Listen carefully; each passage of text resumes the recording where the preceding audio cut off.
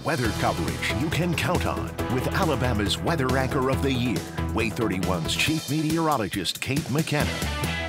Well, the heat is on in North Alabama. We are also still seeing some smoke and haze from those wildfires burning in New Mexico. You're really able to see that very well along the horizon, kind of fuzzy in Huntsville on the WAAY 31 Thompson Roofing and Construction Sky Camera Network. Same thing goes in Guntersville, that haze and smoke along the horizon. There are temperatures mainly in the upper 80s, although Decatur we are at 86 degrees right now. Most locations are going to be even hotter tomorrow than we were today. The WAAY 31 Storm Tracker early warning radar network showing showing us a quiet picture right now.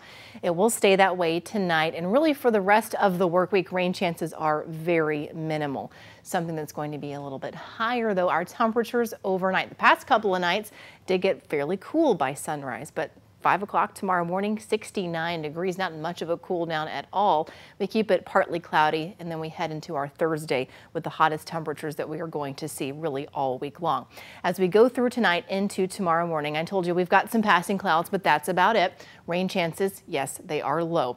By early tomorrow morning, you'll probably see up along your uh, television screen here off towards the northeast the chance for a shower up into Tennessee not for us here in North Alabama, but there is the chance that some of that thunderstorm activity can kind of graze northeast Alabama. So it's a 10% chance. That's it. Most of us are staying dry. By the rest of the afternoon hours on Thursday, there's your mostly sunny sky. Still likely seeing some smoke and haze. This data source doesn't key in on that. And by the time we wake up on Friday, clouds start streaming back in here. Temperatures will still be hot, just not as hot as what we are expecting for tomorrow. How hot are we expecting for your Thursday? Remember, temperatures close to 70 degrees in the morning, but look how quickly they jump into the lower 80s. By the afternoon, your highs in the low to mid 90s, well above average for this time of year. So let's fast forward to the weekend, and there is the chance for rain finally back in our forecast. We need the rain. We're over an inch and a half below average for the month of May.